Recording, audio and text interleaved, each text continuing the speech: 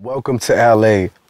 Man, it was crazy uh, shooting the video in Compton and all, all over the place in Los Angeles. I was very proud of Kobe Bryant and, and, you know, the Dodgers, Magic Johnson managing the Dodgers and all of that. I thought that was pretty dope. I came about writing that song, you know, collectively with everything going down in LA and being prou prideful of being from Los Angeles. Plus, the Raiders are coming back to LA, so I'm proud of that too. Bang, bang.